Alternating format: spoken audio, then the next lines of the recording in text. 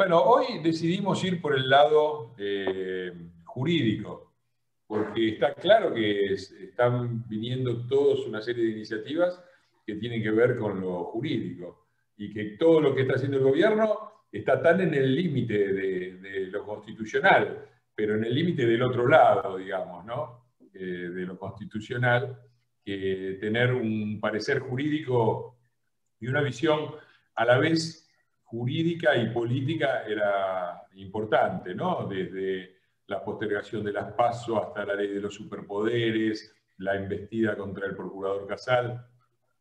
Casi todo lo que está en la agenda de este gobierno, no por casualidad, tiene que ver con lo jurídico. Y es una pena porque debería tener una agenda focalizada en lo sanitario y en lo económico, que son los dos verdaderos desastres, quizás con seguridad los tres grandes desastres que sufre eh, hoy principalmente el país. Y sin embargo, la agenda de la impunidad y la agenda del vamos por todo es la que predomina y por lo tanto eso impacta directamente en, la Constitución, ¿no? en el acuerdo que tenemos todos los argentinos para convivir como una sociedad civilizada y no como salvajes.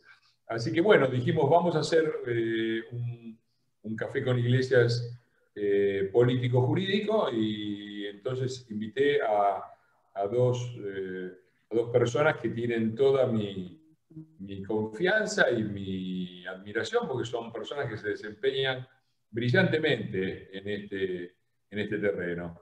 Eh, una es Jimena de la Torre, que está, eh, tiene una larga experiencia de trabajo como asesora en la Cámara de Diputados, pero sobre todo está al frente de una asociación siempre me olvido bien el nombre, Abogados Republicanos, si no me equivoco.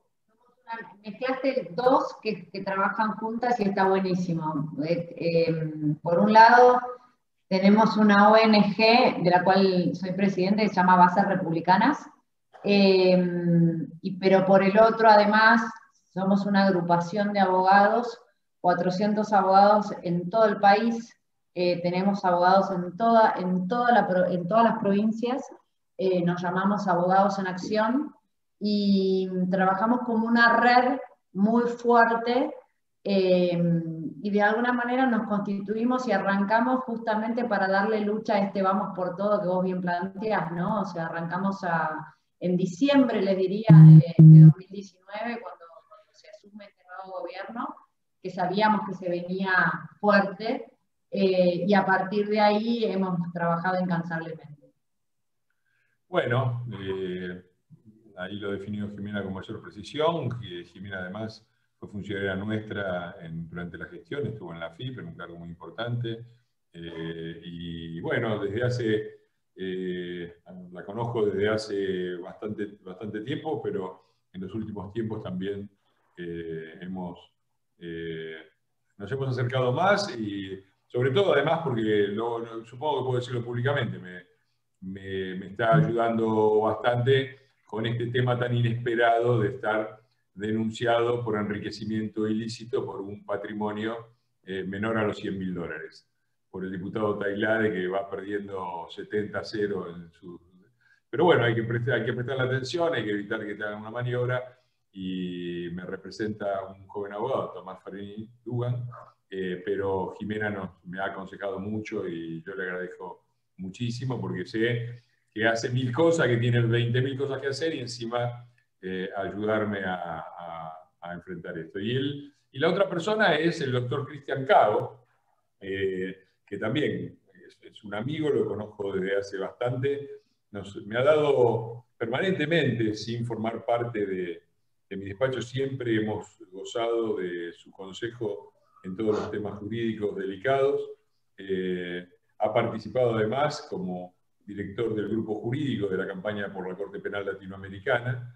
Eh, sigue siendo una de mis personas de consulta, no solo en lo jurídico, sino también en lo político, porque es una persona que viene de una larga experiencia eh, en la política. Y además es eh, profesor titular de la Facultad de Derecho. Creo que sos el, el, más joven titular de cátedra de la facultad, si no me equivoco lo que me parece más que merecido. Yo, en realidad, uno de los puntos en que establecimos nuestra relación fue justamente porque me invitaba sistemáticamente eh, a molestar a sus alumnos con consideraciones mías acerca de, de, la integración regional, el ámbito jurídico, mi experiencia en el Parlamento del Mercosur, y de ahí salió el conocimiento que después nos llevó a trabajar juntos en el diseño del estatuto para la Corte Penal Latinoamericana y en la campaña, y ahí estamos todavía. Y por supuesto, también compartiendo la preocupación por, por la República Argentina, sobre todo por la República y también por la Argentina. Así que es un gusto tenerte acá, Cristian. Bienvenido. Bueno, muchas gracias, eh, Dipu, diputado Fernando. Este, hola Jimena, bueno, eh, ¿qué tal a todos los que están eh, siguiendo este café con, con Fer? Este, la verdad que es, una alegría ahora estar participando hoy en este, en este rol, en este papel. Eh, y me gustaría comentar algo que no lo hago desde lo personal ni tampoco de lo profesional, pero sí es un, logro que, eh, que, hemos tenido todos, que hemos tenido todos los argentinos y que tiene que ver con eh, algo que no trascendió demasiado en los, en los medios, sí en parte, pero porque a las 48 horas la Corte Suprema de Justicia de la Nación dictó la sentencia por el cual hizo lugar al planteo de la Ciudad de Buenos Aires respecto a las escuelas.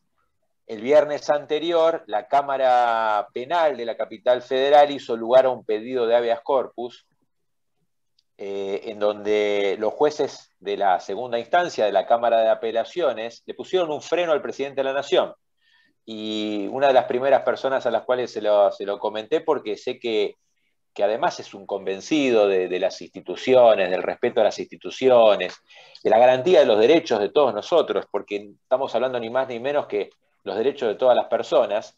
Se lo comenté a, a Fernando y era el Poder Judicial poniéndole un límite al presidente de la Nación. Claro, después de un año y medio se había, en esa palabra que tanto le gusta usar, enamorado de gobernar por decretos, de limitarnos los derechos por decretos, y la justicia intimó a que en el plazo de 15 días trate un proyecto de ley que es el que está tratando en el Senado y que seguramente Fernando irá a, tu, a la Cámara de la cual vos sos integrante en los próximos días, para que, como están haciendo todas las democracias medianamente serias, de ahí para arriba, sea el Congreso de la Nación el que trate las medidas sanitarias, por ley, como corresponde, como establece la Constitución. Así que no quería dejar de nombrarlo porque sé que lo trabajamos juntos. No, no, yo más te voy a pedir, eh, alterando el orden habitual del café con iglesias, que es eh, un café machirulo y por lo tanto le da la prioridad de la primera palabra a las mujeres. Eh, yo se sabe perfectamente que soy un reconocido misógino, pero en este caso te voy a pedir que amplíe un poquitito lo del lo del recurso, lo del habeas corpus, para, que, para completar un poquito la idea. Eh, y después sí pasamos a Jimena. Contanos un poquitito cómo fue eso, cómo fue el proceso y qué consiste el fallo, porque quedó muy en primer plano el fallo de la Corte Suprema defendiendo la autonomía de la ciudad y de las provincias, y quedó, esto pasó a un segundo plano desde el punto de vista de la repercusión, pero yo creo que tiene una importancia igual, ¿no? Porque es la justicia poniéndole un freno al, Poder Ejecutivo. Pero contanos un poquito vos eso, por favor. Es que es elocuente lo que vos decís, porque en los medios estábamos inundados de noticias que no hacían otra cosa que tratar de explicar un conflicto entre la ciudad y la nación.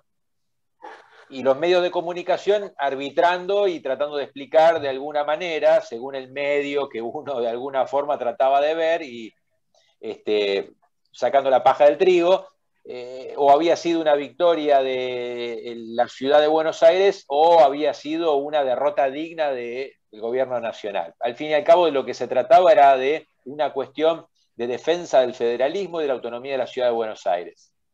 A tal punto está llegando un poco esta locura que estamos todos viviendo que quedó tapado lo que dos días antes había dictaminado, había resuelto la justicia penal, que era la garantía del derecho de las personas a que no sea el presidente de la nación el que reglamente las limitaciones que como debería tener una situación de emergencia sanitaria, no sea el presidente de la nación, sino que sea el Congreso.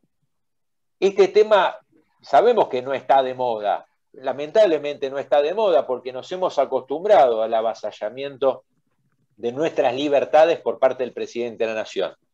Pero fue creo, una bisagra y eh, el surgimiento de una nueva etapa en lo que queda de la pandemia. ¿Por qué digo esto? Porque claramente la justicia eh, frenó al presidente de la Nación en lo que tiene que ver con ese ímpetu de venir a limitar los derechos razonable en algunos casos, pero en la gran mayoría irrazonablemente los derechos y las libertades de cada uno de nosotros. Y ordenó a que sea el Congreso de la Nación el que dicte una ley razonable, prudente, sobre las medidas sanitarias. ¿Y, por, por qué digo que es elocuente? Porque lamentablemente nos hemos acostumbrado, hemos naturalizado que la división de poderes parece que ya no está tan de moda y que los derechos y los derechos constitucionales tampoco. Sí, tal vez una batalla entre el gobierno, el gobierno nacional y la ciudad de Buenos Aires, pero no tanto los derechos. Y eso es lo que a mí me preocupa en este caso como, como profe de Derecho Constitucional. Y es lo que desde donde puedo, y, y siempre te lo digo, Fernando, es donde hay que llevar adelante esto que, en algún momento se hablaba de la batalla cultural, bueno, es la batalla de los derechos y las libertades frente a medidas arbitrarias, frente al absolutismo, frente al despotismo. No es ni más ni menos que es la garantía de los derechos de las personas. Y el habeas corpus fue contundente, el habeas corpus fue categórico. Yo hacía mucho tiempo que no veía una sentencia por la cual el Poder Judicial, lo voy a decir como lo hablaría en un café, cómo el Poder Judicial le puso los puntos al presidente de la Nación. Le dijo, basta de decretos, basta, se terminaron los decretos, ahora por ley. Y además que la ley sea razonable, no cualquier ley, que es el próximo desafío. Así que eso de alguna, de alguna manera fue el, el, el habeas corpus, que además empezó con algo que fue, de alguna manera, fue un ensayo, porque mi representado era una persona común y corriente que quería ir a ver a su pareja en un horario que no estaba permitido porque trabajaba en el horario permitido y porque además el anterior decreto de necesidad de urgencia en la ciudad de Buenos Aires prohibía que dos personas no convivientes se puedan encontrar en un domicilio. ¿Se acuerdan que era la prohibición de los, de los encuentros sociales? Bueno, mi asistido, mi defendido, quería ir a ver a su pareja. Era un encuentro social, pero como no convivían, el decreto de necesidad de urgencia se lo prohibía. Y ahí arrancó la habeas corpus, pidiendo a los jueces que declaren la inconstitucionalidad y que exhorten al presidente de la Nación a que basta de decreto de necesidad de urgencia. Y me acuerdo que te comentaba, Fernando, que lo habíamos perdido en primera instancia. El juez de primera, el juez de instrucción nos había rechazado la habeas corpus, y después lo que fue el éxito y la victoria de que la Cámara de Apelaciones haya revocado y haya dicho lo que terminó diciendo. Así que no es una victoria solamente la de mi defendido que pudo ir a ver a su pareja, sino que es una victoria de todas las personas, que durante poquito tiempo, porque después vino otro decreto de necesidad urgencia, pero durante ese poco tiempo las libertades quedaron permitidas con prudencia, con responsabilidad, con mantenimiento de las medidas sanitarias, pero además el Poder Judicial le dijo al presidente, basta, terminó la etapa de los DNU, ahora tiene que ser el Congreso el que hable. Bueno, muy impresionante, ¿no? Como de todo, en el medio de la crisis todavía hay resortes de la justicia que funcionan. Muchas veces la gente dice, no, porque lo llevas a la justicia. Yo escucho este comentario en el bloque, no, ¿cómo ¿para qué lo vas a judicializar? Si total la justicia ya sabés cómo es. bueno, esto es una demostración de que las cosas no son así. Me trae también algunos recuerdos personales, porque cuando salió el decreto, yo hice el chiste por Twitter de si el presidente eh, que regulaba todo lo que tenía que suceder, suceder en el interior de los hogares, iba también a expedirse acerca del tipo de relaciones que podía tener yo con mi novia. Y eso provocó una catarata de tweets por parte, y si me iba a mandar el protocolo, ah, eso le puse, si me iba a enviar algún tipo de protocolo para proceder a la interacción con mi novia o algo así. Entonces me llegaron una catarata de tweets del sector kirchnerista que me decían, sí, yo te mando el protocolo, primera instrucción, inflala. Y yo estuve un día diciendo, inflala, ¿qué quieren decir? Bueno, veo caras de sorprendidos ahí. Bueno, parece que descubrí dos cosas. Primero había una gran desconfianza sobre el hecho de que uno, eh, de que yo pudiera tener novia. Eh, la verdad, eh, me parece que desnuda el hecho de que ellos tienen una cierta dificultad. Es todo un logro conseguir una novia en el universo kirchnerista. De este lado de la, de la grieta no es tan difícil, qué sé yo. Hay quien tiene y quien no tiene, pero no es tan complicado. Allá, del otro lado de la grieta, parece que es una hazaña, porque desconfiaban, ¿no? ¿Cómo vos? Y lo otro, que parece que el uso de muñecas inflables está muy extendido, porque todo el mundo hacía este chiste, ¿no? De inflarla era por eso. Eh, bueno, qué sé yo. Menos mal que hay una grieta, ¿no? porque hay gente con la que uno le gustaría no cruzarse. Lamentablemente tenemos que compartir un país. Y bueno, hacemos lo que podemos. Bueno, Jimena, pasemos, démosle seriedad a esto eh, antes de que se No, mantengámoslo eh, ameno, aprovechemos que, es una charla íntima. No, eh, me quedé con esto de la libertad y, no, y, quiero un minuto pensar un poco en eso, ¿no? este es un gobierno que, que tiene como objetivo y tiene como obsesión controlar nuestras acciones, ¿no? O sea, realmente la confluencia de, o sea, que les haya llegado la pandemia a ellos fue como anillo al dedo, ¿no? O sea, eh, justo a ellos les viene a venir este, esta hecatombe, esta gran crisis mundial. Era perfecto. El otro día veía un, un video estaba en inglés, no sé de dónde era, eh, y no hablaba sorprendentemente de la Argentina, pero sí hablaba de varios eh, países, en realidad empezaba eh, contando lo, que sucede en Hungría, ¿no? y lo, hacía el paralelismo con, con los robos, ¿no? Dice, si vos vas a, vas a cometer un delito, vas a robar, ¿lo haces a plena luz del día o lo cometés de noche? ¿Cuál es el mejor momento para robar?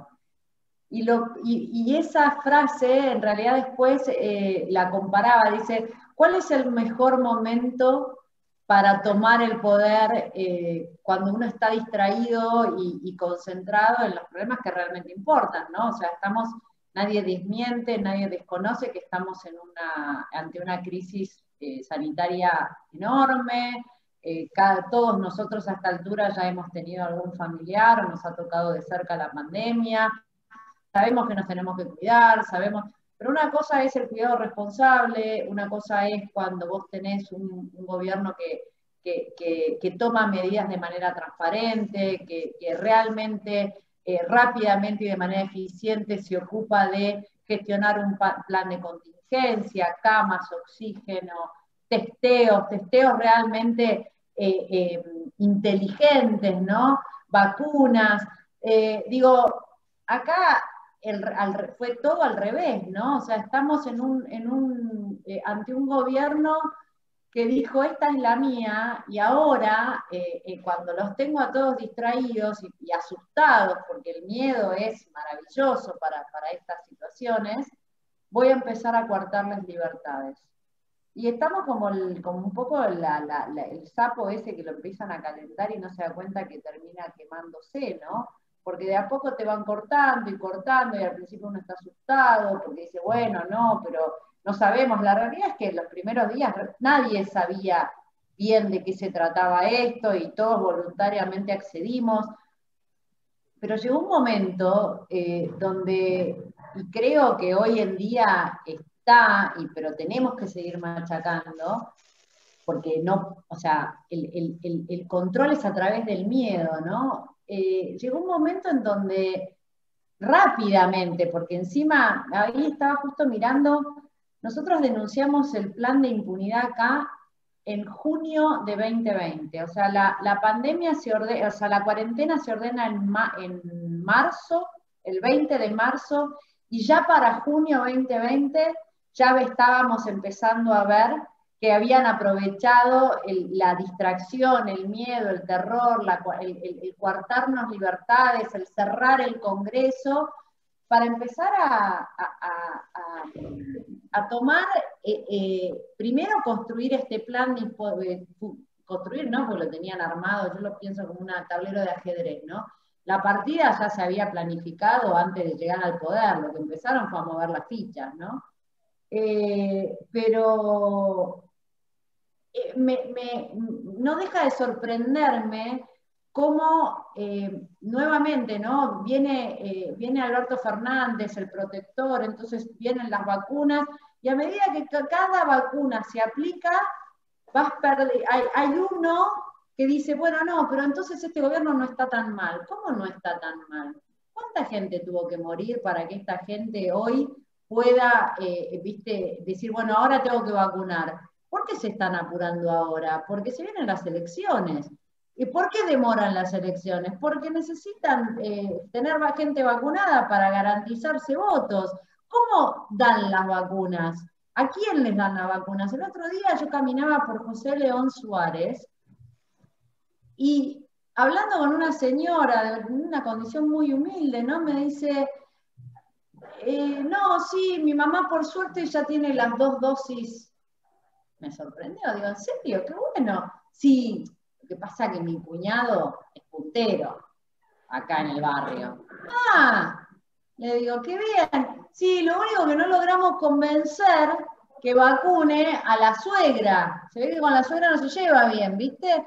pero a la suegra la tenía en lista de espera el turro encima. Digo, eso, ¿qué ¿cómo funciona finalmente? ¿no? Digo, el tipo que hace después de eso, empieza, ¿viste?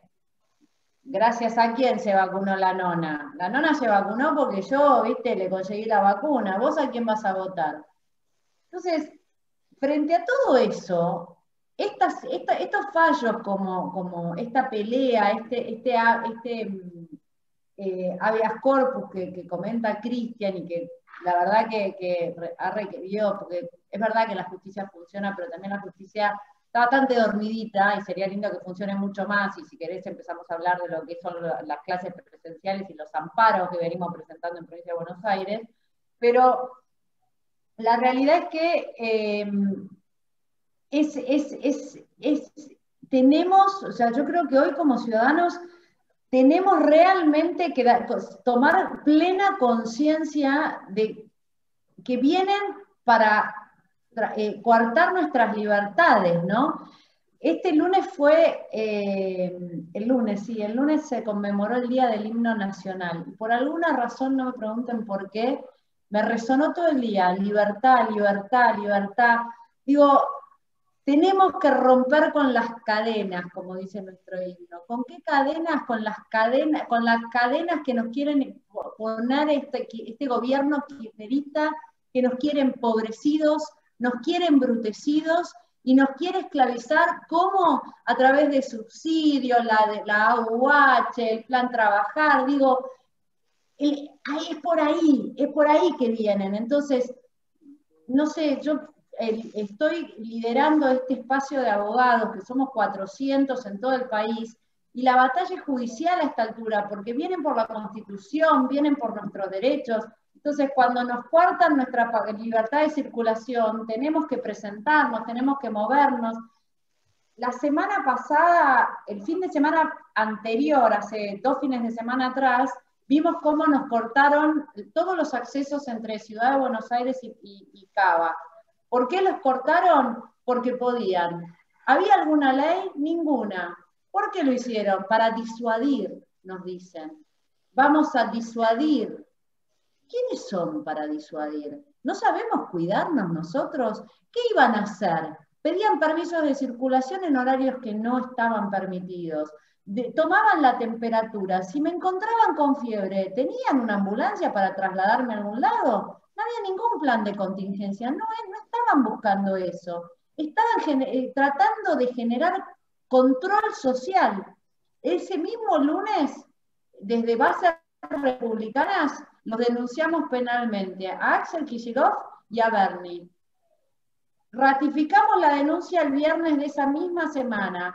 Y ese día, cuando la ministra de Gobierno dijo que iba a reiterar los controles, cuando tomaron conocimiento de la denuncia, y seguramente por otras cuestiones, yo no digo que no me hago la que la, que la denuncia lo frenó, pero uno de los factores que evaluaron al momento de levantar los controles del fin de semana pasado fueron fue, la denuncia penal, entre muchos otros factores. Fue la, presión social, fue la gente en la calle, fue el, de vuelta, ¿no? La sociedad, la ciudadanía diciendo no.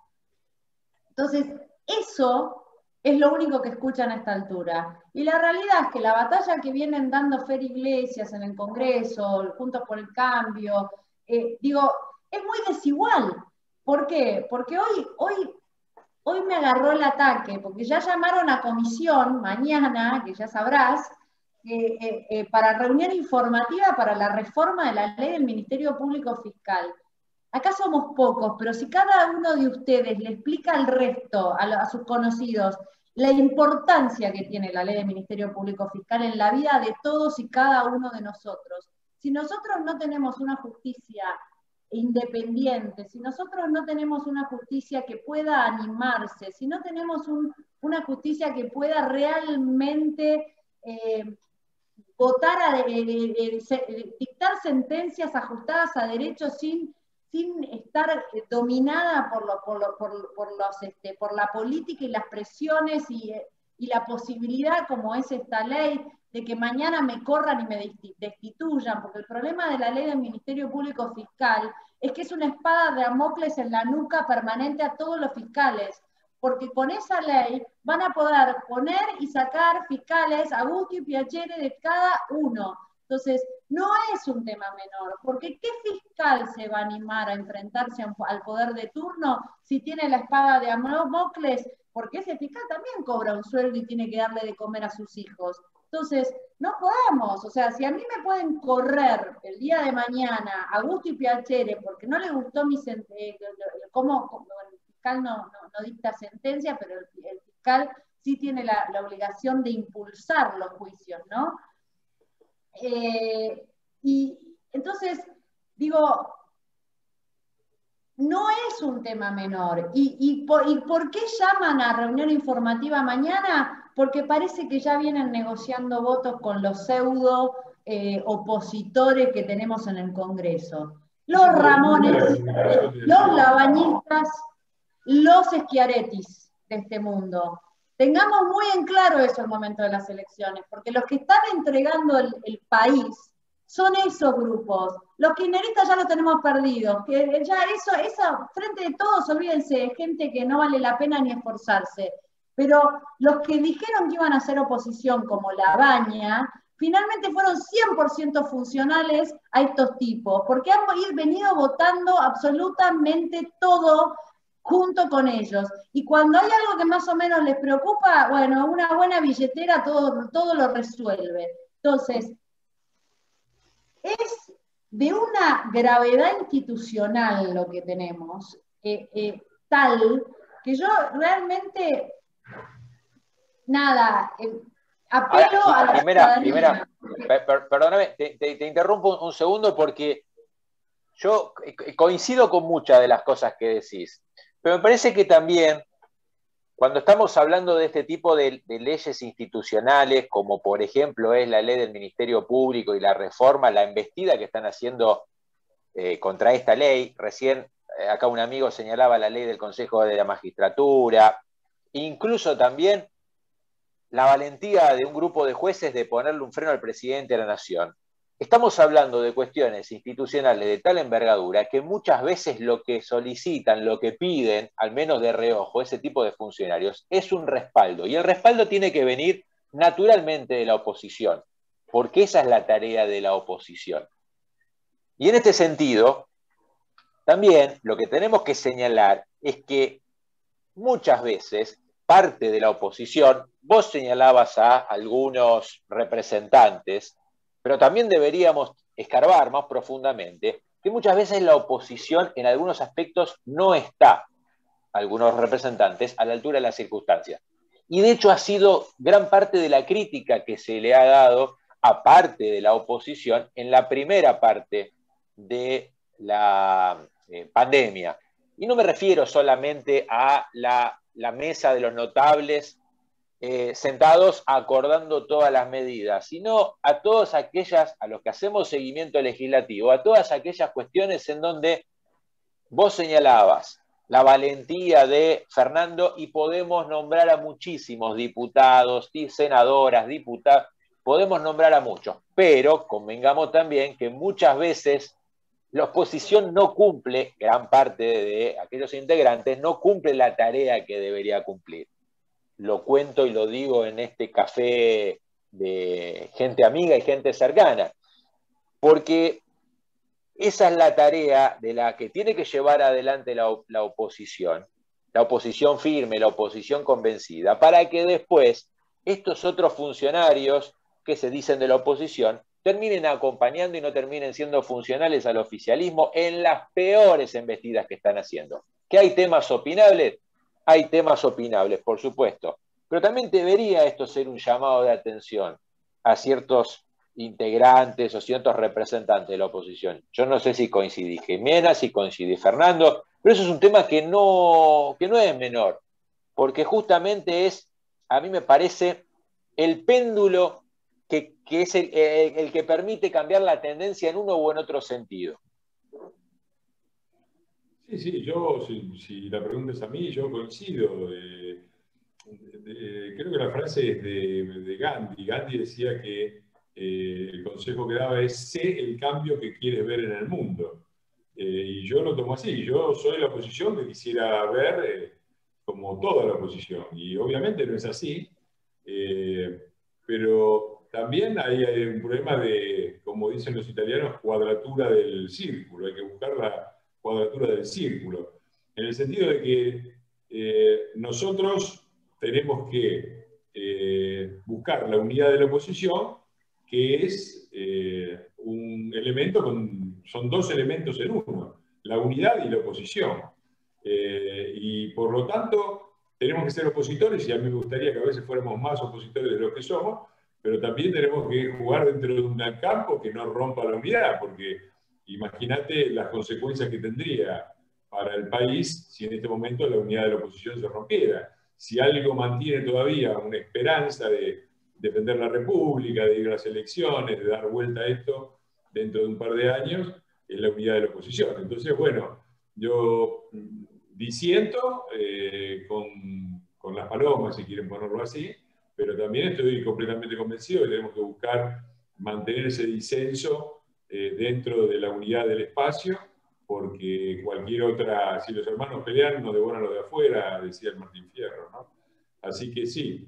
Bueno, eh, yo no sé si Jimena quiere hacer un comentario sobre eso. Yo le diría, a Jimena le pediría, Jimena otra cosa que ha hecho, y después les doy a los dos para que eh, hagan un cierre redondeando las afirmaciones iniciales y abrimos a las preguntas. Pero eh, a Jimena le iba a pedir que no dejara de mencionar otras dos cosas, que son los amparos que ella hace eh, junto con el grupo. Tanto así han tenido un rol muy importante, así como el amparo que hizo Cristian tuvo este impacto formidable de la aceptación de este habeas corpus, el grupo Jimena y el grupo con el que trabaja se han dedicado a presentar amparos en la provincia de Buenos Aires, sobre todo a favor de la, de la educación, eh, y, y, también eh, amparos a favor del voto por correo de los argentinos en el exterior. Pero contárnoslo brevemente, sin ir mucho a lo técnico, porque no es la idea, pero contanos eso, cerrar y después le damos el cierre a, a Cristian antes de empezar con las preguntas, si les parece bien. Eh, en, septiembre del año pasado, cuando vimos que, las clases claramente no, tenían ni vistas de, abrir, de, volver los chicos a, las escuelas, em, yo estuve caminando en ese momento por, barrios vulnerables y, me indigné con, esto de... Em, con muchos chicos que no, que no habían tomado contacto con sus profesores en todo el año, con chicos que les daban unos cuadernillos de, así, eh, de, unas paginitas pavas y encima llenas de, frases de adoctrinamiento, y, con eso creían que suplían. padres que no, que no tenían ni siquiera la, capacidad, no estaban suficientemente alfabetizados como para asistir a esos chicos y ayudarlos a completar esos tres paginitas de cuadernillo que les habían dado. Digo, en ese momento dijimos, no, esto, esto, esto ya, ya pasó de claroscuro, esto ya no es, no son cuidados a la salud, esto, esto es otra cosa. Y ahí, eh, junto con, eh, calculo que los conocerán, eh, nos pusimos en contacto con padres organizados, en ese momento no se llamaban padres organizados, pero había sí en, Hicimos un par de semanas con, con ellos, la semana pasada creo. Bueno, nosotros eh, en ese momento, en San Isidro especialmente, había un grupo de padres que ya había como, estaba bastante armadito y organizado. Yo vivo en Becar, tengo una hija de 14 años además que, no, que no estaba yendo a, la escuela, y, y, nos pusimos a trabajar y armamos un amparo colectivo acá en San Isidro, juntamos 680 firmas de padres eh, y nos presentamos en, la Justicia Federal de San Martín, acá en San Isidro. Eh, empezaron a revolearse el amparo para todos lados, nadie se declara competente. Eh, la realidad es que desgraciadamente no tuvimos los jueces valientes que le tocaron a, a Cristian. Y finalmente ese amparo terminó en la Corte Suprema de Justicia de la Nación, sigue durmiendo el sueño de los justos ahí, tiene dictamen fiscal, que decide que la competencia en principio parece que es local, pero no se, no se expidieron sobre el fondo y todavía no está en vistas de eh, expedirse. Después vuelven entonces a la carga, finalmente igualmente ese amparo funcionó, eh, esto es lo importante, ¿no? porque la parte jurídica es casi anecdótica. Ese amparo lo que sí funcionó es a nivel presión política. ¿Por qué? Porque eran 680 padres que se habían presentado en la justicia y que empezaron y empezaron y empezaron. Y además de hacer esa acción jurídica, la acompañamos con un montón de acciones ciudadanas que fueron metiendo presión y presión y presión. Y de vuelta, es el granito de arena que uno aporta, no es que yo diga que por ese amparo o por esa presión que ejercieron algunos se logró, pero cuando eso se replica, empieza a, a lograr resultados. Eh, finalmente, eh, cuando se dictan las nuevas medidas ahora, hace poquito, dijimos, bueno, no vayamos con un amparo colectivo. ¿Por qué? Porque el amparo colectivo nos deja en un único juez. Y ese único juez quedamos a merced de un único y aislado juez. Entonces dijimos, vamos con lluvia de amparos. Para ir con lluvia de amparos, Obviamente el laburo es enorme, ¿por qué? Porque más allá de que uno puede armar un modelo de amparo, después hay que buscar abogados que patrocinen todo eso. Pero bueno, la verdad que nos organizamos muy bien, nos ayudaron de vuelta, nos volvimos a poner en contacto con padres organizados, que ya estaban mucho más organizados también, nos ayudaron a difundir eh, entre los padres esos modelos de amparos y, hoy tenemos presentados amparos en toda la provincia de Buenos Aires. Modelos de amparo que cuando los presentamos, los primeros que presentamos, que se presentaron en la ciudad, fueron de esos tres primeros amparos que lograron la, la, cautelar, que finalmente fue Fundación, el que logra la cautelar en, Ciudad de Buenos Aires y, la que logra que ese lunes este, se abrieran las escuelas. Pero tanto con la gente de fundación como con los otros dos amparos que estaban dando vueltas, todo el fin de semana estuvimos trabajando coordinadamente para llegar. Bueno, no, vos apelá, no sé qué, a mí no me dieron bola. Bueno, ese trabajo logró en Ciudad de Buenos Aires eh, que las clases hoy estén abiertas. Replicamos lo mismo en, ciudad, en provincia, y claro, en provincia tenemos un gobernador extorsionador que eh, los tiene a, los jueces bastante reacios a tener que resolver. Entonces, ¿qué hacen? Patean la competencia. Hay un entramado normativo muy complicado porque tenemos normas, de, normas nacionales, tenemos normas locales. Entonces, te agarra, todos se patean la pelota y todos te dicen que no son competentes. Entonces, no, no, son competentes los federales, no son competentes los locales, nadie es competente, se elevan las cosas. Yo me terminé presentando junto con otro abogado, también de Abogados en Acción, nos fuimos en competencia originaria de la Suprema Corte de la provincia, porque dijimos, bueno, Si nadie competente, vamos directo. Que hay, eh, eh, tenemos la figura en, provincia de Buenos Aires, de, lo que se llama control de constitucionalidad difuso, muy técnico, pero la, la, Corte, la Suprema Corte de Provincia podría llegar a declarar la inconstitucionalidad de una norma nacional. Eh, por supuesto que la Corte sigue, ese, juicio sigue durmiendo el sueño de los justos, eh, ninguno de los amparos, pero no, no, no, nos damos, no nos damos por vencido. ¿Por qué? Porque esa lluvia de amparos son pequeñas granitos de arena que uno va aportando y con que un amparo, con, un juez valiente que, lo, que, que dicte finalmente una medida cautelar, a partir de ahí empezás a resquebrajar el sistema y a partir de ahí empezás a lograr, eh, pero yo también quiero mi amparo, yo también, yo también, y ahí es donde, eh, porque esto se va a resolver políticamente, no se va a resolver en la justicia, pero tenemos que meter presión desde esos lugares y cada uno desde donde puede. Nosotros como abogados lo hacemos en la justicia, ustedes como ciudadanos tienen las calles, tienen los carteles, hoy veía eh, eh, también de vuelta cómo lo escracharon a, a, Kichilov en, en, se bajó con las vacunas, que por supuesto todo politizado, y dos mujeres con un cartel que decía clases presenciales. ¿Sabes los matones empujándolas? eran dos mujeres con un cartelito que decía queremos clases presenciales. Estaban todos incomodísimas a los empujones porque no querían que Kichilov vea el cartel. Un papelón, pero cada una de esas acciones son las que nos van a permitir, como en la guerra de guerrillas, pelear por nuestros derechos. Bueno, muy, impresionante el trabajo y también la descripción que haces. Cristian, para cerrar tus consideraciones iniciales y vamos a las preguntas.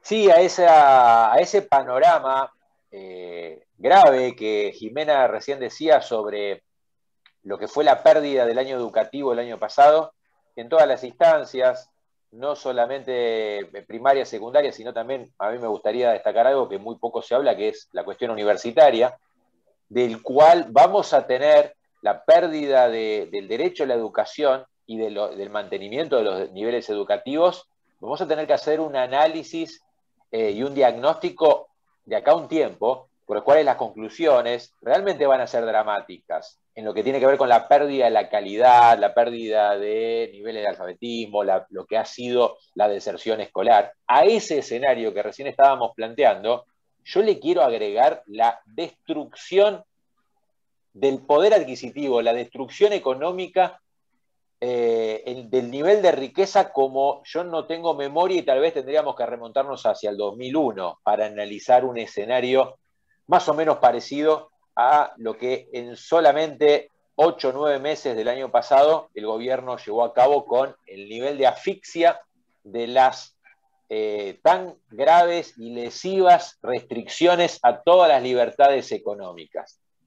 Eso es algo que también lo vamos a padecer a lo largo de este año y que va a costar mucho recuperar en el próximo tiempo. Ahora, de la misma manera que la sentencia de la Corte Suprema de Justicia de la Nación de la semana pasada y el habeas corpus de la justicia penal del viernes anterior pusieron un freno al presidente de la Nación en la avanzada con los decretos de urgencia, me parece que la próxima ley, al menos es mi opinión, la ley que se va a estar que se está discutiendo en el Senado y que lo más probable es que la Cámara la semana próxima vaya a la Cámara de Diputados, va a ser la segunda etapa. Y, y la tengo la sensación Tal vez sea una expresión de deseo, pero creo que la ciudadanía ha logrado anticuerpos, voy a usar esta palabra, anticuerpos frente al avasallamiento de las libertades y los derechos por parte, en este caso, del gobierno, me parece que se abre también una nueva etapa de judicialización de esta ley, que todo parece indicar que va a estar plagada de inconstitucionalidades. Por lo tanto, y esto a modo de aliento, a estar preparados y básicamente a ser valientes, porque de la misma manera que aquella, aquel grupo de padres que fue a ver a Jimena o aquella persona que me vino a ver y que quería ejercer su derecho, ejercer su libertad, también tuvo la valentía de presentarse a la justicia para que un juez les proteja su derecho agredido. Así que me parece que empieza una nueva etapa una vez que se apruebe y esperemos que sea la mejor ley, aunque ya ya descreo y dudo, no tengo muchas esperanzas, pero se va a abrir un nuevo eh, frente de batalla y tengo la sensación que con un resultado muy distinto al que fue el rechazo de todas las presentaciones judiciales del año 2020. Me parece que se abre otro escenario, el año electoral eh, va a también dar mucho para tallar, pero bueno, es la esperanza y básicamente también lo último que se pierde para todos aquellos que no solamente creemos en la ley, en la constitución, en las instituciones, sino básicamente también entendemos a la política como transformación de algo que ya nos está asfixiando y que es intolerable, que es este avasallamiento por parte del gobierno de las libertades de todas las personas. Así que mensaje de, aliento y de estar preparados para la próxima batalla que se viene. Muy bien. Bueno, eh, estamos bastante avanzados con la, con la hora y vamos a las preguntas, digo, sin perder más tiempo. Muy bien, muchísimas gracias Fernando y obviamente gracias a Cristian y a Jimena. Le damos la palabra a Fabio eh, D'Alessandro, que era una de las personas que primero se anotó. Le vimos a Fabio, breve. Hola, sí. Eh, sí, ¿qué tal? Sí. Eh, buenas tardes. Este, mira, dos, eh, preguntas bastante breves. Una para Fernando Iglesias, pensar, a ver cómo, cómo va a avanzar esta ley de superpoderes en, el, en diputado. En Senado sabemos que está complicado, pero en diputado, ¿cómo la ve? Y bueno, y si después está la posibilidad de que sea, como decía Cristian de que sea anticonstitucional o que tenga varios puntos anticonstitucionales. Y lo segundo es, en el café anterior o dos cafés anterior, tuve la posibilidad de eh, hablar con Patricia Bullrich, de preguntarle a Patricia Bullrich sobre el tema de vacunas. Yo soy bioquímico y a mí me parece que esto es un delito grave lo que hicieron, eh, de, de, dejar de comprar vacunas, de especular con la Sputnik, y tenemos mucha gente que se está muriendo y se murió por una negligencia neta sea, este, 22 millones de vacunas que podrían haber venido del fondo COVAX, que solamente van a venir dos, y ya no tenemos posibilidades porque India se cerró, y la Pfizer, que son 13 millones que podríamos haber tenido, o sea, tendríamos treinta y tantos vacunados. Por lo que esto es un tema complejo para mí y que eh, va a dejar una cantidad de muertos importante. No es lesa humanidad, es ustedes que son este, abogados, Bullrich no sabía, dijo que lo iba a, consultar con su gente, con su equipo, pero bueno, a lo mejor ustedes tienen alguna otra idea. Muchas gracias. Bueno, arranco yo y arranco por el final. Eh, acá los que saben son Cristian y Jimena, pero yo un poquito sé porque, digamos, eh, en la creación de la Corte Penal Internacional que trata de estos delitos, eh, participó fuertemente el Movimiento Federalista Mundial, del cual soy presidente, unos 23 años con Minor de la coalición de ONGs, más de 2.000 ONGs de todo el mundo que apoyaron la creación de la Corte. Eh, hasta donde yo entiendo, y desmiéntanme sin temor a desdecirme, porque no soy abogado, eh, Cristian y Jimena, pero creo que para delito de lesa humanidad se requiere voluntariedad, no negligencia. Había que probar que eh, las muertes obedecen no a una negligencia o un abandono de persona o lo que fuera, sino a, una intención directa de provocar ese daño. Y eso me parece que está, lo pone un poquito para afuera. Eh, igual escucho con atención las opiniones de ustedes. El otro, ¿qué va a pasar con los superpoderes en el diputados? En el Senado estamos perdidos, ya saben. El Senado es peronista desde 1983 y va a seguir siéndolo por lo menos por un par de periodos más. Eh, por lo menos en 2023 no hay ninguna chance de que tengamos mayoría. Eso quiere decir una cosa muy simple, que no hay juez designado en la Argentina ni ley que se haya aprobado en la Argentina que no haya contado con el consentimiento del Partido Justicialista, lo que explica más bien, muy bien el estado de la justicia y el estado del país.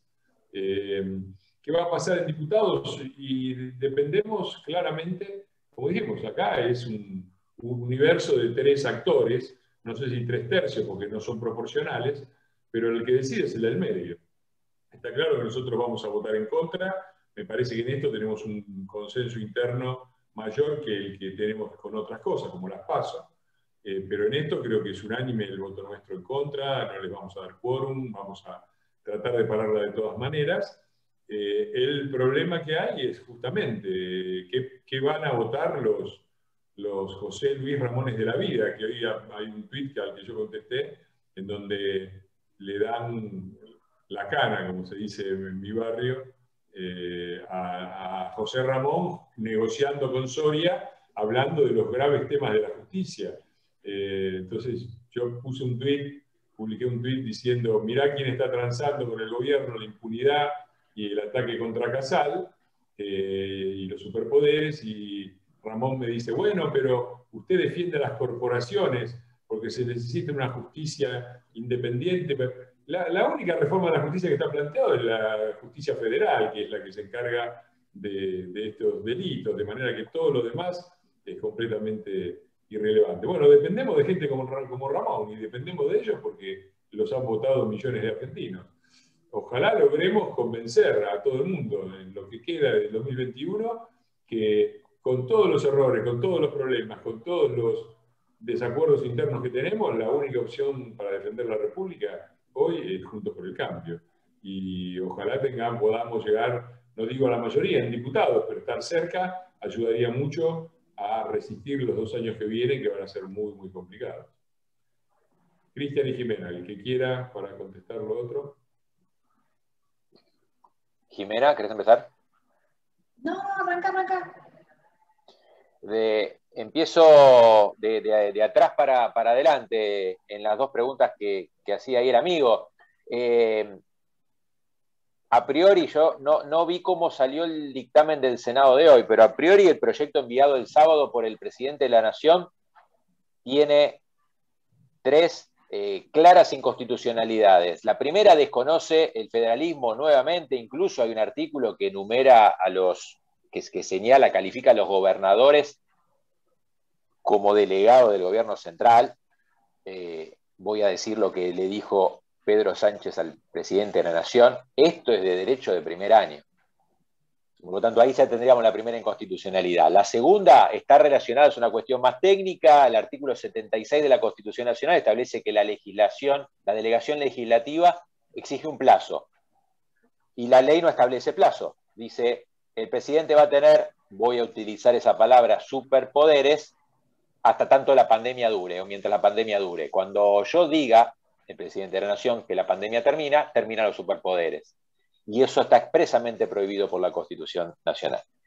Y en tercer lugar, lo que tiene que ver con, otra vez, el avance de las libertades sobre determinada cuestión específica, como por ejemplo la, una restricción nuevamente a la educación, las escuelas, y esto es en mi opinión, debería ser lo último que se cierra, lo último que se cierra.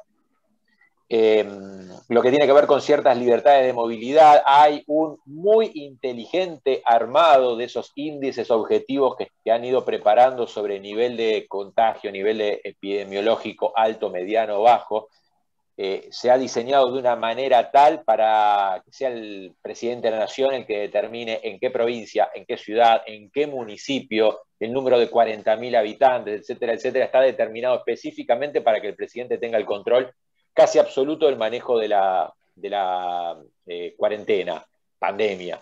Por lo tanto, si sumo estas tres cuestiones, avasallamiento del federalismo, no fijación de plazos para la delegación y un muy inteligente, pero a su vez perverso, sistema de limitación de las libertades, estamos hablando de volver a otorgarle la suma del poder público al presidente de la Nación, en términos del artículo 29 de la Constitución Nacional. Por lo tanto, creo que hay claras inconstitucionalidades y por eso hablaba hace unos minutos eh, que esto va a, ser, va a abrir una nueva batalla judicial y va a ver de qué manera inteligente se plantea esto frente a los jueces, porque no, no, supera ningún test mínimo de em, constitucionalidad que pueda llegar a tener el proyecto. Ojalá que si termina siendo aprobado de esta manera en el Senado, ojalá que diputados le pueda incorporar modificaciones.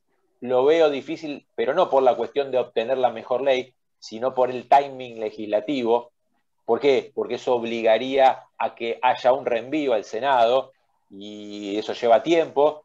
Y el, creo que es el 21, termina el, último decreto de urgencia, porque ya el Poder Judicial le dijo basta de decretos. Por lo tanto, una cuestión de tiempos hace, esa cuestión hace que al fin y al cabo las instituciones sean nuevamente avasalladas. Así que, por, mi parte, esos son los, señalamientos que, quiero decir respecto a la segunda pregunta. Respecto a si pueden ser considerados delitos de lesa humanidad, y voy a, voy a contestarlo como, como solemos contestar los abogados, no lo veo. No lo veo porque uno de los argumentos lo decía Fernando, no solamente eh, hay que demostrar la intención, hay que demostrar el dolo para la comisión de eh, esas conductas reprochables, sino que también habría que agregarle otros componentes, como una conducta deliberada, sistemática, dirigida frente a determinado sector o determinado grupo en particular. Hay muchos elementos que tienen que reunirse para que eh, eh, puedan ser considerados delitos de lesa humanidad. ¿Que, van a ser, ¿Que pueden ser juzgados como delitos graves? Claro que sí. ¿Que esto en algún momento va a terminar y van a haber responsabilidades penales también? Pero yo no me apresuraría hoy a decir que se cometieron delitos con una característica que son lesivas de la humanidad. Por ahora, por el momento, a mí me parece que estamos lejos de esas de circunstancias. Muy bien, muchísimas gracias. Eh, seguimos con. Jimena que agregar algo. Ah, perdón, perdón. No. Creo que entre los dos, va, no sé, es algo que quieran agregar algo, pero me parece que han.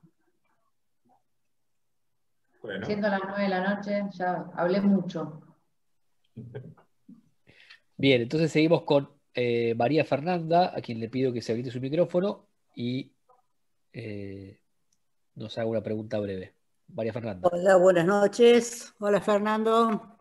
Hola Jimena y hola Cristian. ¿Cómo estás? Eh, yo, tengo, yo tengo una pregunta que sí, que sí me, carcome la cabeza. ¿Cómo puede ser, cómo no hay una comisión en, legisladores que se ocupe de ver si una ley es anticonstitucional o no? ¿Cómo puede ser que voten leyes que son, o, que, o que algún artículo roza la anticonstitucionalidad? Eso yo no lo entiendo. Yo viví en Alemania y en Alemania eh, no se puede votar ninguna ley que toque la Constitución ni, con un pelito. De hecho, la propia Constitución... Se mandan cualquiera y, votan leyes, leyes terroríficas. La propia Constitución lo prohíbe, incluso hasta puede llegar a ser un delito de traición a la patria cuando la inconstitucionalidad es fragrante, eh, lo que pasa es que, bueno, que, salir a judicializar todo tampoco es la manera, ¿no? O sea, pero sí, e, e, es, algo... Lo que pasa es que todo lo que han hecho es, no tiene precedentes, todo lo que vienen haciendo es, nos sorprende y decimos, pero ¿cómo puede ser?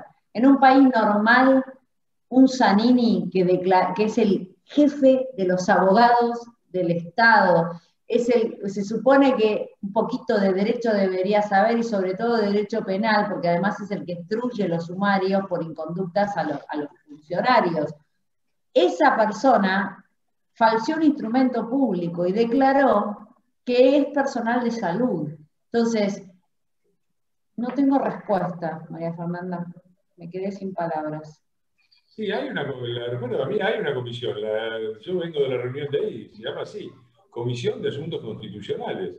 Eh, la, presiden ellos, eh, es, casi todo lo que trata está eh, ligado con la Comisión de Justicia, que yo integro, cuyo presidente es el diputado Tailade.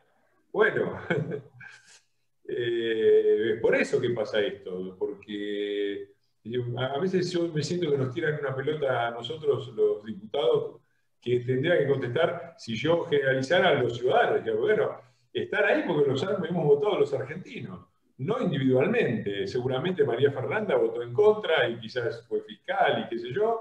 Yo tampoco los voté, pero los argentinos sí lo votaron. Si están ahí es porque han tenido el poder político que por eh, imperio de la Constitución y del voto les ha dado el pueblo argentino. Así que nada, eso, eh, empieza por ahí el problema, empieza por ahí. Eh, el PJ maneja el Senado, está bien, yo creo que hay un mal diseño institucional, que el Senado tendría que ser distinto, puedo hacer mil objeciones, pero después son los argentinos los que votan una mayoría de senadores peronistas y les dan el control permanente del país, inclusive cuando no están en el gobierno. Cuando no están en el gobierno tienen poder de veto sobre todas las iniciativas del gobierno. Entonces ahí hay un problema, ¿no? De, hacer entender esto para, para que el voto sea distinto, porque nos jugamos mucho en este 2021, nos jugamos la composición de la Cámara de Diputados y Senadores, los dos años que faltan, y nos jugamos también, eventualmente, si llegamos al gobierno, cómo van a ser las cámaras, si vamos a poder hacer reformas vamos a estar trabados como estuvimos en el anterior gobierno, y si nos toca hacer otra vez oposición, hasta dónde los vamos a poder frenar. Todo eso lo decide el voto, y la verdad que ha sido el voto de los argentinos el que ha decidido sistemáticamente desde los últimos 32 años darle 26 años de poder eh, directo eh, a los gobiernos del peronismo, eh, le ha dado los 32 años completos y más también de control del Senado, les ha dado la mayoría en diputados en 30 años más o menos, estoy haciendo el cálculo rápido, un manejo de casi todas las provincias, de casi todo el tiempo. Bueno, si seguimos votando así, vamos a seguir eh, decayendo como nación, y eso no pasa solamente en la Comisión de Asuntos Constitucionales, que es una vergüenza, sino que pasa en todo.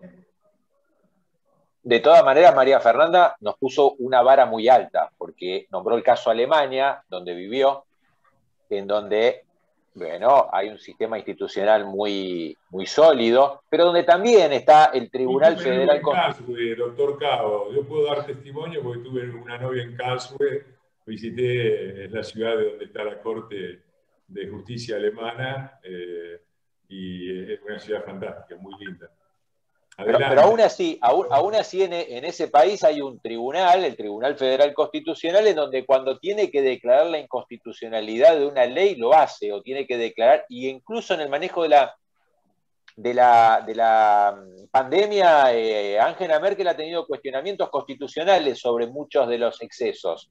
Porque al fin y al cabo, de cuando estamos hablando de poder, estamos bordeando el exceso del poder, más aún en esta situación, pero como decía Jimena recién, en un país medianamente normal, las instituciones funcionan. Y si las instituciones funcionan, hay división de poderes. Y si hay división de poderes, algunos hacen las leyes, el Congreso, otros las ejecutan, el presidente de la Nación y sus colaboradores, y al fin está el Poder Judicial para salvaguardar los derechos de cada uno de nosotros. Naturalmente, que después encontramos estos escenarios, según la sentencia sea dictada en uno o en otro sentido, los queremos más o los queremos menos a los jueces de la Corte Suprema o de los tribunales inferiores. Pero bueno, ese es el ejercicio saludable de la democracia. Y eso también es lo que diferencia. No quiero caer en la grieta, pero inevitablemente tengo que acercarme. Diferencia uno y otro sector. El respeto a las instituciones y la falta de respeto como la que estamos lamentablemente viviendo ahora. Pero ante eso, frente a eso, la herramienta que tenemos es la constitución y el respeto a las instituciones, no hay otra. Muy bien. Eh, yo hago una breve pausa. De orden, moción de orden. Jimena, yo me había comprometido con, Jimena a liberarla a las nueve, ya porque tiene otro compromiso, así que la... Pido perdón, pero ¿saben qué les, les voy a ser muy franca? Eh, mi hijo con la novia hicieron hamburguesas caseras con pan de papa. Y los tengo a todos sentados a la mesa y me miran como diciendo, mamá, ¿dónde estás? Eh, eh, les, pido perdón, pero soy madre y, en cualquier momento me, acribillan. Así que nada, hasta luego y muchísimas gracias por liberarme. Gracias por venir, Jimena, gracias por... Y nos quedamos acá un poquito, eh, Cristian y yo, bancando el, el final. creo que tenemos espacio para todavía para un par de preguntas, si te parece, eh, Diego. Muy bien, muchísimas gracias. Eh, también me, estás viendo, Jimena, que tenía ese problema familiar. Eh, la siguiente persona es Carolina Gutiérrez. Ahí le voy a pedir que se habilite su micrófono. Carolina. Hola, hola. Sí, ¿se escucha? Perfectamente. Ah, bueno, buenas noches y muchísimas gracias por, eh, este café. Eh, yo soy de Tandil y bueno, mi pregunta, no sé, eh, un poco dirigida a los dos, bueno, bueno, una preocupación grande tenemos todos por el tema educativo, yo en el café anterior lo planteé, por ahí Cristian Cao también mencionó lo que yo había planteado en el otro, que es el silencio ensordecedor de las universidades, diría yo, y de todos sus claustros prácticamente, salvo esfuerzos y voces aisladas. Eh, a Tandil concretamente nos, pasaron, nos pasó el gobernador a fase 2, eh, por lo que eh, a partir del lunes próximo también se sacaría la presencialidad en las escuelas. Y bueno, ya hay este, un grupo de padres juntando firmas para el amparo y toda esta historia. Pero por ahí comentar esto y que, mm, como decía Cristian, de la ley de superpoderes, ¿no? Eh, acá vemos también en el interior de la provincia esto de, desde un escritorio, en La Plata concretamente, medirnos a todos con la misma vara eh, y ponernos las reglas de juego de, bueno, de parte del conurbano que tienen otras realidades muy distintas a las nuestras, ¿no? Eh, y el trasfondo y lo que más me preocupa de todo esto es que en definitiva también nos enfrentan a unos con otros. Entonces, bueno, ¿cómo ven esto ustedes? Porque también eh, está esto de que, bueno, hay, empiezan las diferencias entre que hay escuelas que, pueden trabajar, otras que no. Y yo creo que el trasfondo, en definitiva, el gobierno lo tiene clarito, es enfrentarnos a unos con otros. Eh, a las escuelas que no están en condiciones de funcionar, no estaban en condiciones de funcionar hace 15 años. Eh, así que bueno, no sé, por lo menos a ver qué, qué es lo que, cómo seguir remando todo esto. Y Cristian, no sé qué es lo que se te ocurre, porque vos mencionaste justamente lo de las universidades, que a mí particularmente me preocupa muchísimo. Si, si por ahí, mm, no sé, de qué manera terminar este, reclamando ante la justicia por los derechos de, los estudiantes universitarios. la, pregunta es quién reclama. Yo soy eh, profesor en la, universidad y, lo que tengo para decirte, Carolina, y que hay mucha gente muy cómoda con esta situación. No me refiero solamente a, profesores, a docentes, sino también muchos estudiantes. Y por lo tanto, desde que no haya eh, una persona que se presente ante un juez y que diga, yo realmente quiero eh, tener una educación integral con las medidas sanitarias, con los protocolos que, se, deban, que se aplicar y, vengo a pedir que, que, la universidad se abre, se abra, bueno, desde el momento donde no haya una persona que tenga esa valentía y ese coraje para ir a reclamarlo a un juez, bueno, no vamos a tener una respuesta. Y ahí quedaremos en manos de, en este caso, el gobernador o las, si es una universidad nacional, las autoridades este, nacionales. Hay otro tema que se va a empezar a conversar dentro de muy poco tiempo, que tiene que ver con la consecuencia de esto, que es el desfinanciamiento de las universidades. Pero que es natural esto. Si hoy los salarios docentes no se, no se, aumentan, ¿por qué? Porque no tienen viáticos, no tienen traslados, porque dan las clases del domicilio, bueno, tenemos una baja que impacta además en lo que va a ser el financiamiento de las universidades. Básicamente, los edificios han estado cerrados un año. Por lo tanto, ¿para qué financiarlos? Es el cálculo básico que van a hacer desde el gobierno nacional. Bueno, eso son cosas que tarde o temprano se terminan pagando en la lucha por el derecho, como decimos los abogados, desde la justicia, pero también desde la política, y bueno, cuestiones que hay que ir este, a capa y espada defendiéndolas.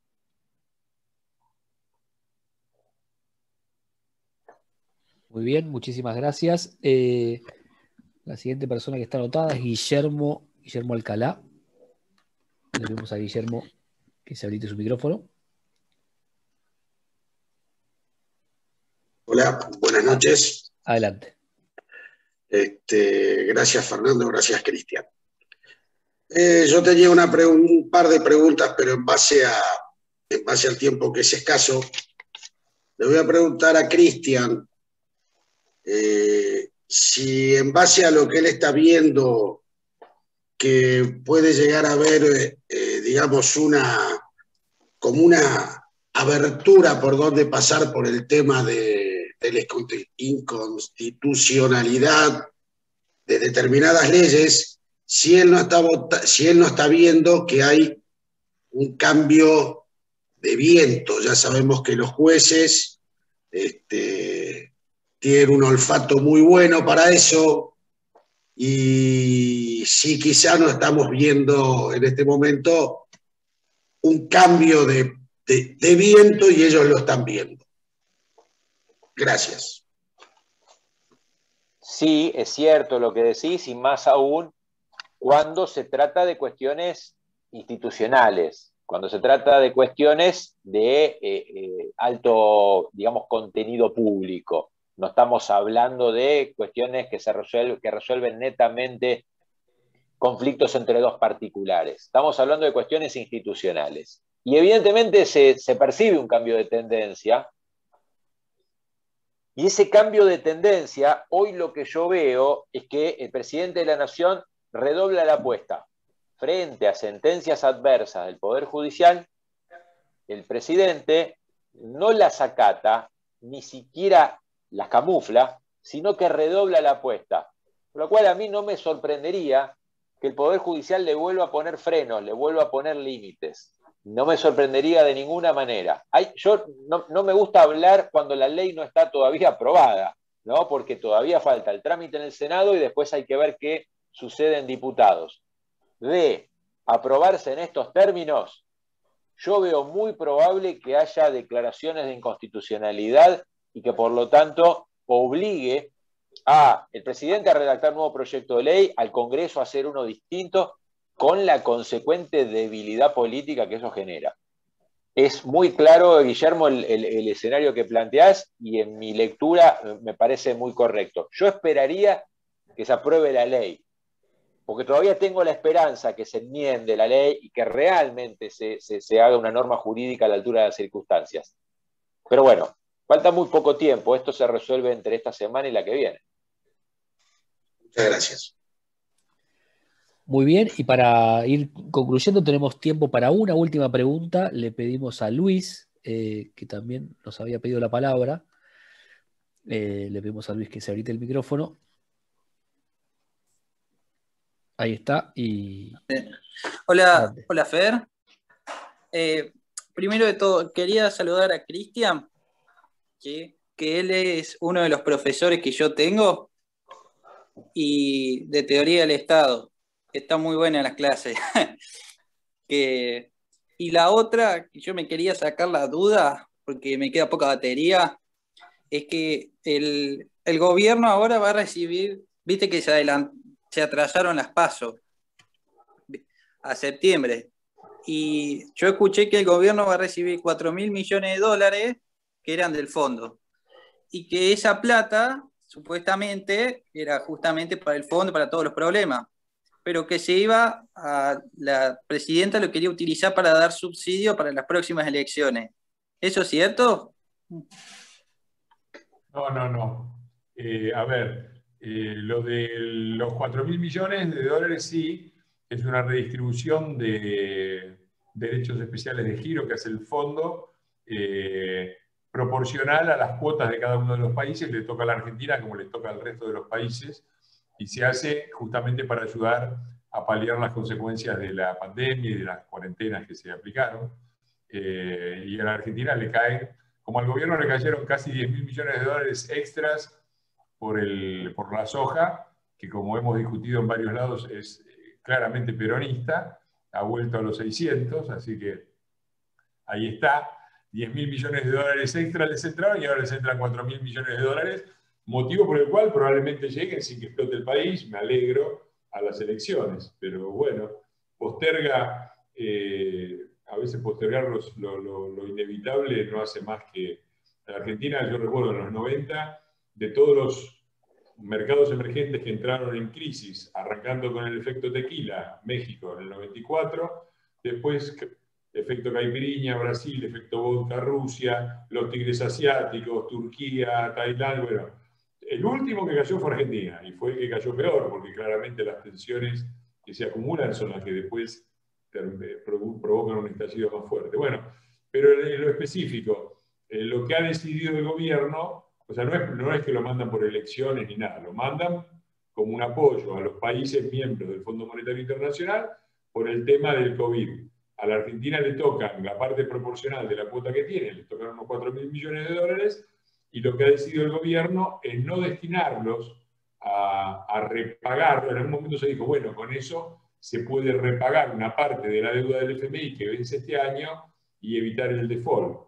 Eh, la decisión que ha tomado el gobierno, eh, Cristina, digámoslo claramente, parece ser la contraria. Se van a utilizar como fondos corrientes, se van a ingresar como cuenta del Tesoro y se van a aplicar los gastos generales, es decir, a financiar eh, lo que ya están financiando, ¿no? la, maquinita eterna y, y, los presupuestos del Estado que siguen creciendo a pesar de la, de la pandemia, de la cuarentena y del desastre. Así que bueno, esa es la noticia en concreto, eh, más de lo mismo, ¿no? Es, otra vez eh, un paso más hacia la economía modelo Kisilov, que tantos éxitos trajo en un momento en que sobraba la plata, así que imagínense lo buena que va a ser ahora que falta.